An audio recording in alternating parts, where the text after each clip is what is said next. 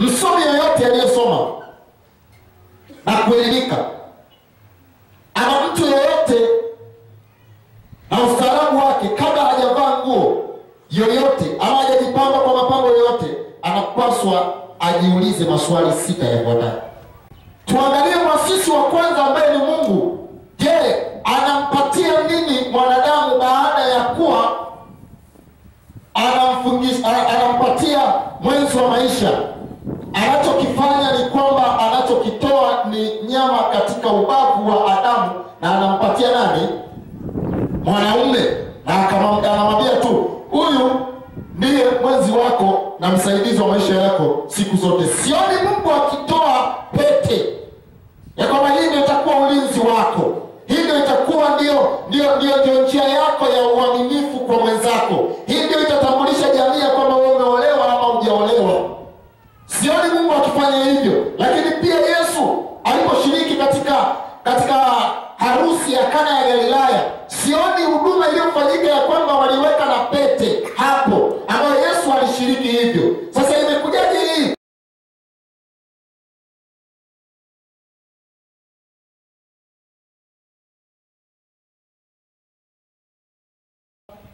Pete ina historia ndefu sana jinsi namna ilipoanzia wakina nani walianza kuvaa lakini hasa tunapokuja katika uh, katika jamii ya wanandoa haikuanzia kwa wanandoa.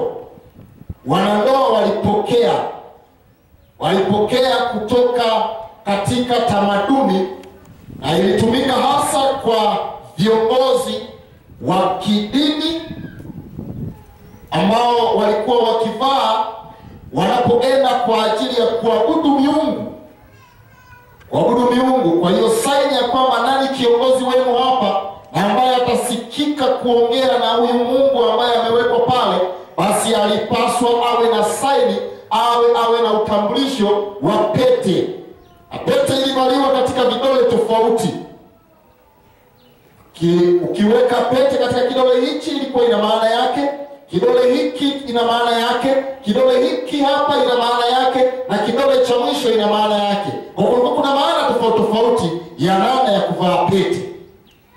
Sasa pete zilivaliwa kwa mikono yote miwili mkono wa kulia na mkono wa kushoto pia.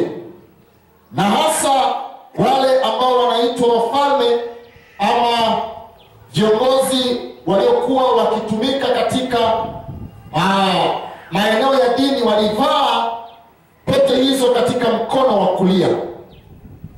Na wanapofika pale basi kwa sababu mkono wa kulia ni mkono wa ishara wa haki basi waliweza kuweka hapo. Na pete ilitumika hasa kama pamoja na utambulisho lakini pete ilitumika kwa ajili ya wafalme kwa namna ya mihuri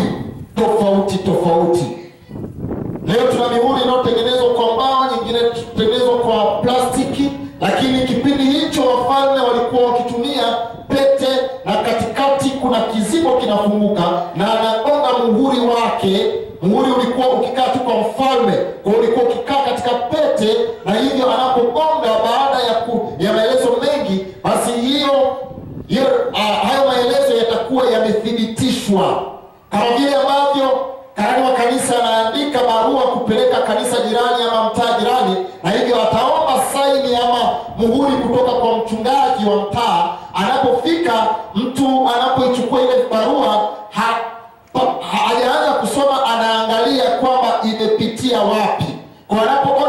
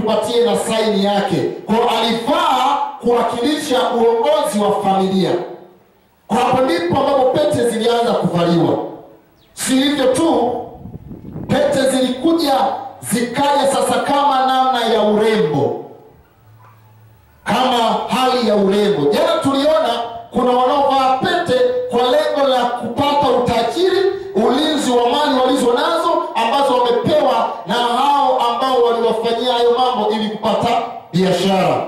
Na hivyo sasa utagundua wanaofanya hivyo vyote, fedha yao marufuku kuipeleka katika nyumba za ibada, na ndio maana utashangaa sana, watu wengi wana mali za kutosha, lakini ukiangalia zaka yao na sadaka ni shilingi elfu mbili kwa mwezi. Halo, huku huku hawapo, kule huku hawapo. Utakuta ana, ana maduka zaidi ya manne matano, na ukiangalia, je, akija mwazini akiangalia akiangalia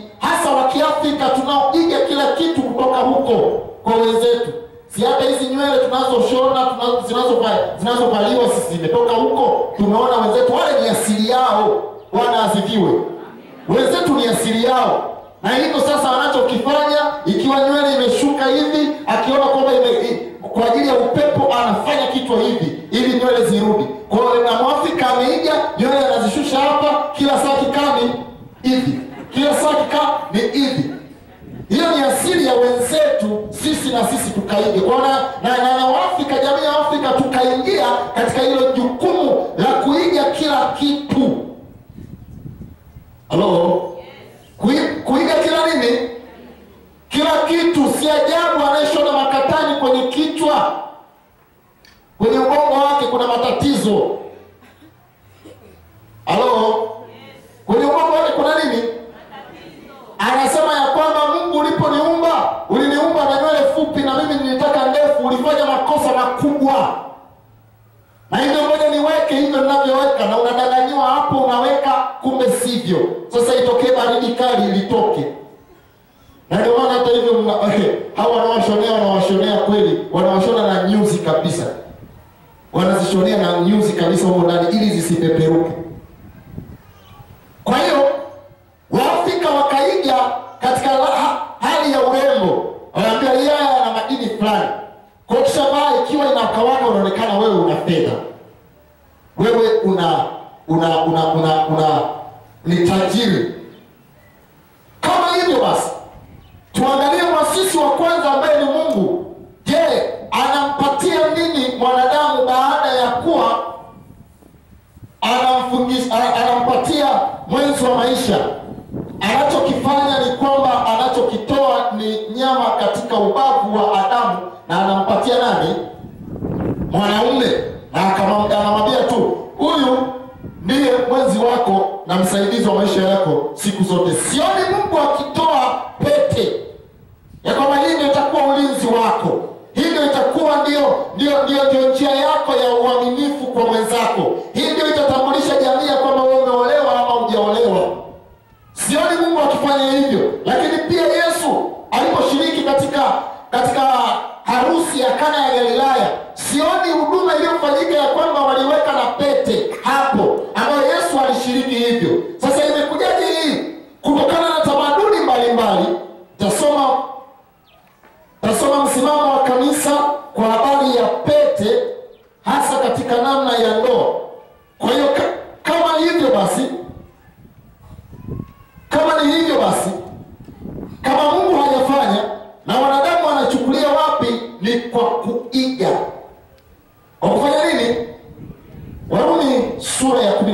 mstari wa pili. Ama nilisome ilipo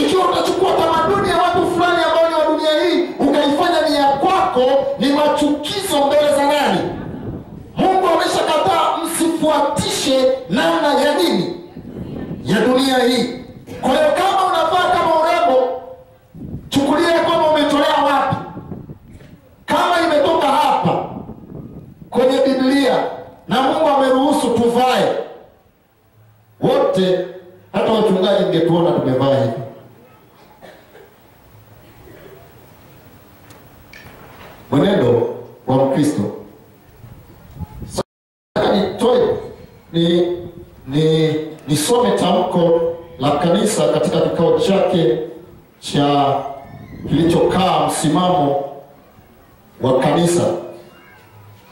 Msimamo wa kanisa juu ya haya tunayoyasema ni haya.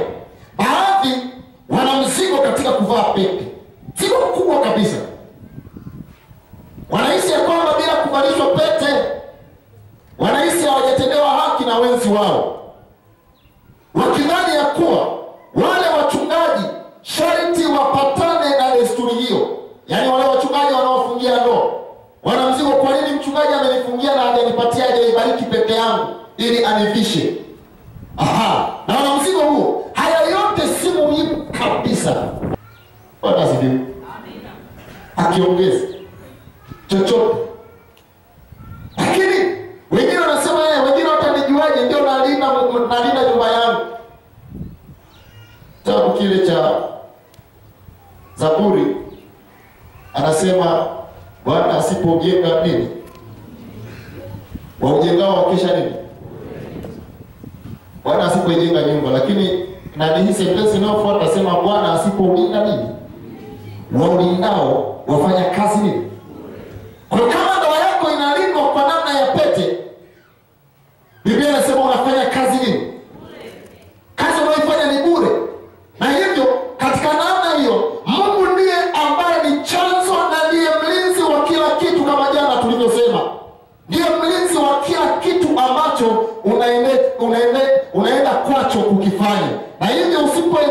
Hilo, utakuwa umeiuza hiyo ndoa yako mahali fulani ambapo imetengenezwa kwa vito vya thamani. Hata hivyo ni vitu vinavyoharibika kama jana tulivyosema, vitu vinavyofanya sasa jambo ambalo tunapaswa kulielewa kwa wengi leo, nini cha kuzingatia unapovaa vitu vito vya thamani? Nini cha kuzingatia unapojipamba kwa mavazi? Nini cha kuzingatia? Yapo mambo sita ambayo ninahitaji niyasome kwako leo.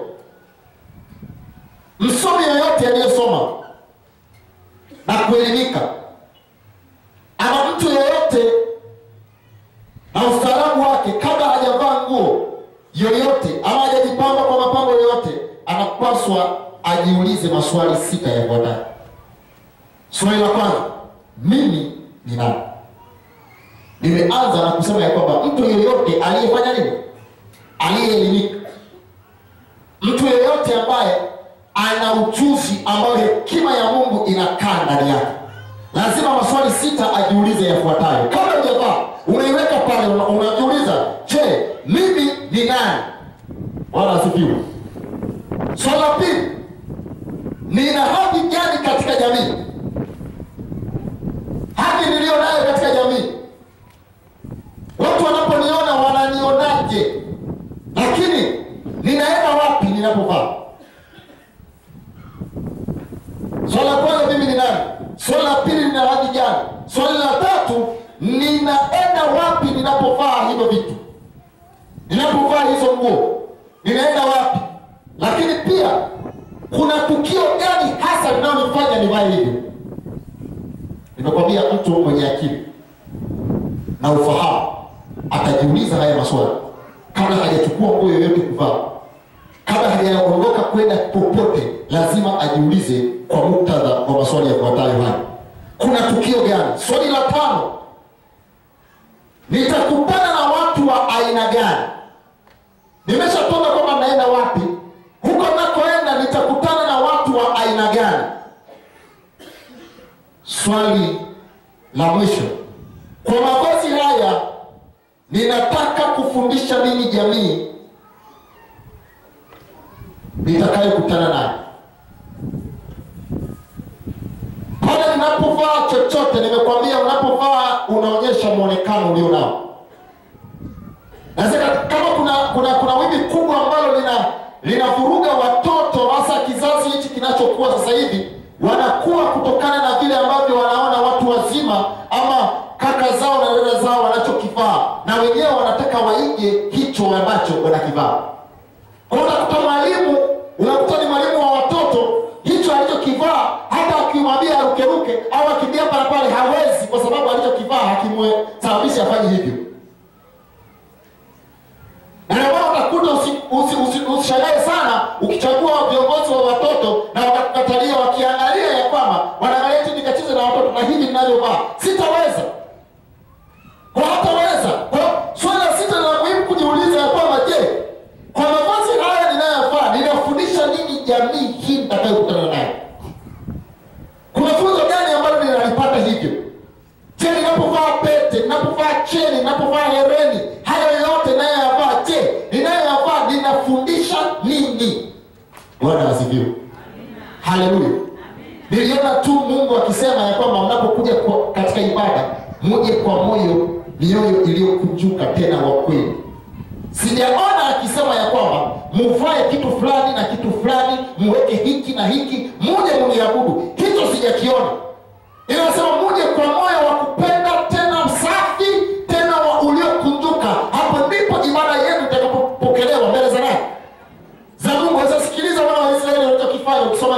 kutoka thelathini na mbili. Ukianza ile historia ya pale Ah, walichokifanya wana wa israeli baada ya kumwona musa amepanda juu. Alipopanda kule juu akiwa na- anaongea na mungu huku huku chini wamebaki kana kwamba wanajua kwamba mungu hayuko pamoja nao. Wanasema hatujui hata hivyo mungu ametuacha. Sasa haruni tunakuomba ukufanyie mungu maana tulizoea misri kuabudu na sasa hapa hatuoni chochote kinachoendelea na amekaa mrefu hatujui tufanyie miungu. Na haruni naye aliharibika misri maana anachofanya anawambia sasa sikilizeni leteni vile vitu vyote mlivyopewa misri. Hivyo ndivyo ambavyo vinatengeneza miungu. Maana miungu ibada ya miungu tulianza kuiabudu tukiwa wapi? Misri. Biblia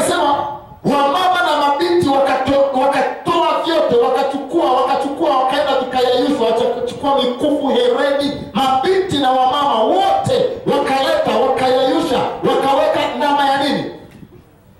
Ya dhahabu wakaanza kuiabudu. Mungu akasema ninawashukia sasa. Nikawaharibu. Kwa sababu walichukua vile vitu ambavyo vinasaidia kutengeneza miungu. Wala haviwezi kuleta utambulisho wowote ule. Soma kitabu cha luka utaona vile ambavyo mwana yule yule mwana mpotevu aliporudi. Kwa hadhi ile ya jamii iliyohusika baba ndiye alikuwa na pete. Akamwambia pete kidoleni atakuwa nacho kule, kuleta mamlaka aliyokuwa nayo. Ile haikuhusika pete katika levo ya ndoa.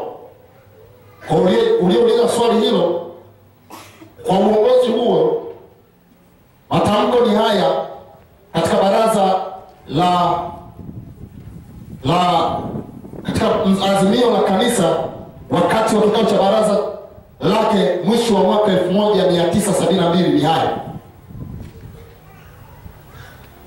thamani ya ukristo wa mtu hauwezi kame kupimwa kwa mwonekano wake wa nje.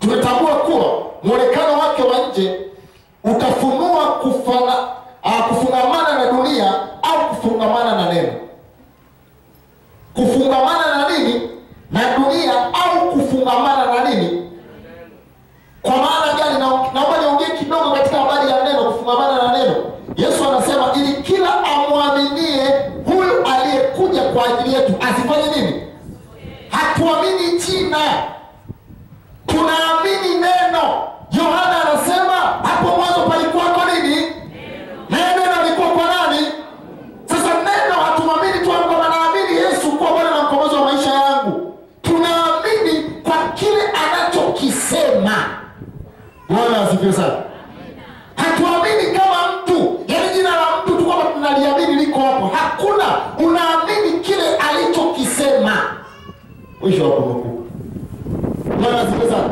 kwa ndio maana anasema hivi ikiwa huu mwonekano wa nje utafungamana na dunia au utafungamana na neno bwana asifiwe sana. Na dunia au kufungamana na nini? Nimesha kusomea warumi asema msifuatishe namna ya dunia. Maana hata hivyo huko tunakoenda mbinguni hakuna hereni. Hakuna pete. Hakuna cheni. Vyote hivyo ni vya kuharibika. Hakuna. Ila tutapewa miili ya kuto kuharibika bwana asifiwe sana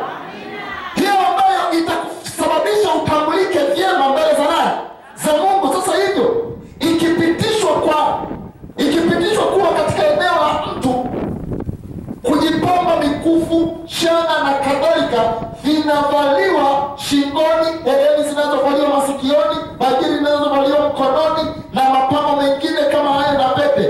Dini ya kweli kitabu cha mwanzo 35 moja mpaka nne anasema dini ya kweli si tu ya kupamkwa mdomoni bali ni hali endelevu inayogusa maisha ya kila siku ya mtu. Bwana asifiwe sana kweli ya kwamba mimi ni mkristo hautaongea mdomoni ya kwamba mimi ni nani? Ni mkristo. Lazima tuone huu Kristo katika mtazamo huo ambao tunakuangalia. Bwana asifiwe sana. Haleluya. Msifuatishe namna ya dunia hii. Sababu kuu sita za kutovaa mapambo. Sababu kuu sita za kutovaa hivyo vitu sababu ya kwanza yesu aliye kielelezo chetu namba moja hakuvaa narudie yesu aliye kielelezo chetu hakuvaa pambo lolote hatukuona mariamu wala yusufu akimvalisha chochote bwana asifiwe sana hakuvaa sababu ya pili kile tunachokifanya kina mguso chanya na hasi kwa wengine ukishagundua tu kama yale maswali sita niliyokuuliza niliyokwambia uyazungumze. Ukishaona kabisa huu hichi ninachokifanya kina mtazamo chanya katika jamii. Sipaswi kufanya hivi. Sababu katika biblia uvaaji wa mapambo na uchaji wa kweli wa mungu haviendi pamoja. Katika biblia ukisoma kote katika uwiano wowote. Hakina. sababu ya tatu watu wa mungu wanafananishwa na mwanamke aliye na mapambo na mwanamke. Adui wa mungu anafananishwa na mwanamke aliyejipamba kwa vito vya dhahabu. Soma kitabu cha ufunuo kumi na mbili na ufunuo kumi na saba. Tarudia hii kwetu watu wa mungu wanafananishwa na mwanamke na mapambo. Namba moja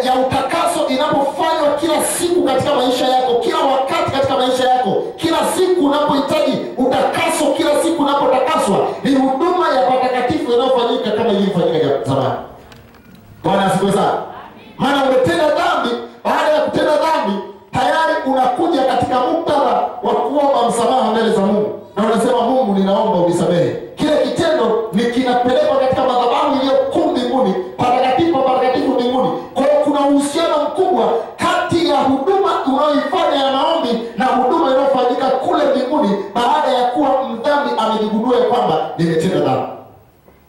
Kwa ukigundua hilo utajua tu ya kwamba mwili wako haupaswi kupambwa na vitu vingine isipokuwa mioyo iliyo safi. Kwa hiyo sita anasema wakati wa marejeo ya pili ya Yesu,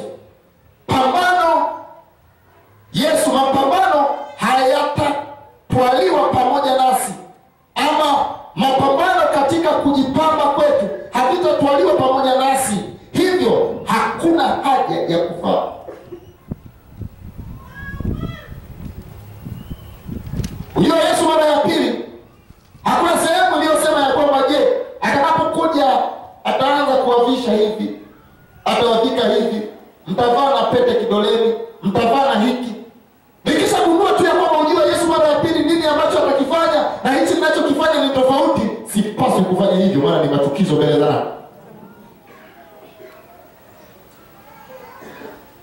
Kujihusisha binafsi kwa kutengeneza vitu kama hivyo. Sasa nakuja katika maisha ya ya kuendelea, sema okay, mimi sivai, lakini habari gani kuhusu kutengeneza wengine wavae ili nijipatie nijipatie kipato, kama vile ulivyo hapa katika kanuni ya ka- ya- katika viapo vya asema sitajihusisha kutengeneza au kufanyeje.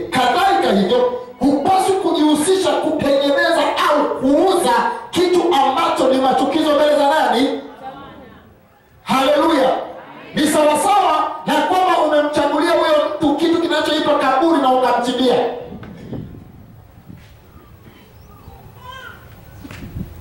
maana juzi nikakwambia, ikiwa unaiva vinguo ambavyo havi- havina hadhi mbele za Mungu, usigawe, kachome.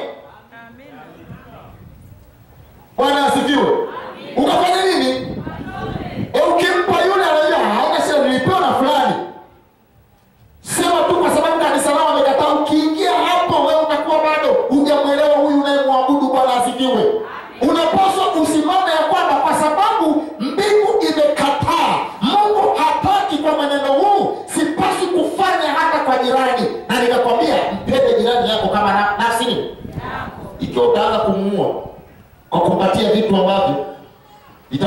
ni, shida.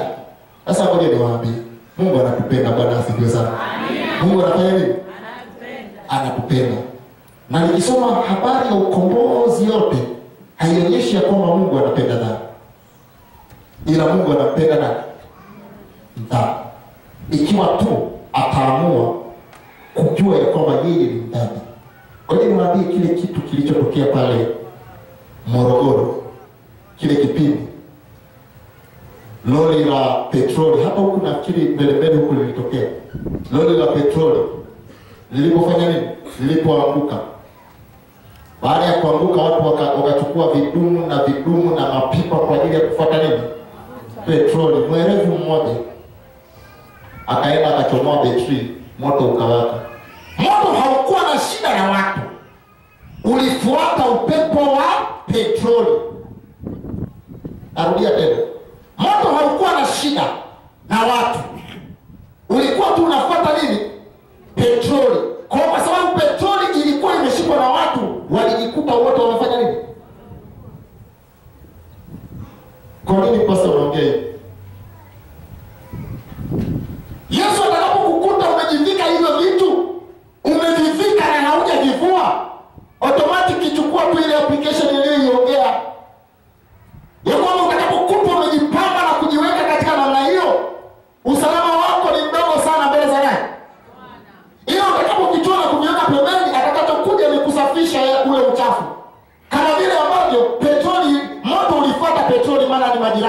ni marafiki kwenu. yaani ni sawa na wewe ujimwagie petroli alafu useme sitaki kuungua na unakaa karibu na moto. Bwana asifiwe. Haleluya. Haleluya.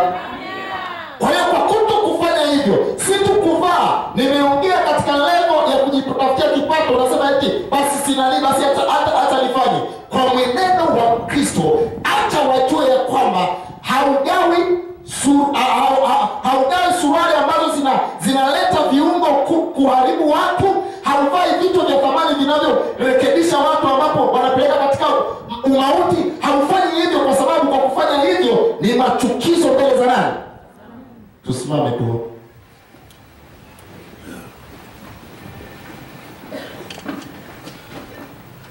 Baba yetu tunakushukuru tena kwa asubuhi ya leo maisha waliotupatia si kwa sababu ya kufuata namna ya dunia hii.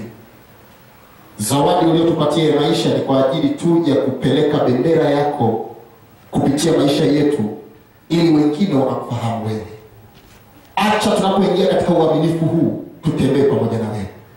Acha utuongoze katika kila nyanja ya ukristo ambao umetupatia.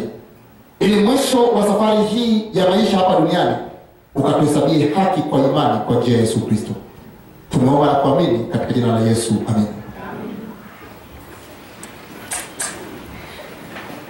makambi makambi ishirini kenda mafiga. Yesu tumaini langu. yesu tumaini langu Makambi ishirini ishirini kanda ya Mafinga. tunaendelea kubarikiwa sana na vipindi hivi pendwa na pengine tutoe shukrani za dhati sana kwenu ninyi wapenzi watazamaji mnaotazama na kutufuatilia muda huu kupitia mhubiri tv na dadabeti binafsi nabarikiwa mno Hata mimi nabarikiwa sana, lakini hata watu ambao wako nje ya maeneo haya Mafinga wanabarikiwa pia. na ndio maana basi wanaendelea kushirikiana pamoja nasi kwa jumbe mbalimbali. Nadhani umetusomea kidogo huko. Ndio, yupo Agustino Kaguo TV anasema Mungu awabariki sana. asante. Kuna mtu mwingine pia anaitwa jini claud zeimana anasema anafuatilia kupitia 55 kutoka usa bwana abarikiwe sana. Lakini yuko mwingine okay kuna mtu mwingine anaitwa mauriasi wankunda anasema watching uh, from kenya nairobi. Tunasemaje? Lakini yuko mwingine anaitwa Nchi ya Ahadi TV anasema amina, Mungu awabariki sana, tunabarikiwa sote. Nancy Omwega anasema watching live from nairobi kenya pia. Tunasemaje jamani kwa jumbe zao? Amina. wapenzi tazamaji, nadhani msituache endelea kuungana nasi tangu mwanzo mpaka mwisho. Pengine nini kinafuata dada beti mgawanyiko naamini kila mmoja anajua sehemu ambayo inatakiwa awepo. Kwa hiyo tutaenda kugawanyika kila mmoja kwa nafasi yake kwa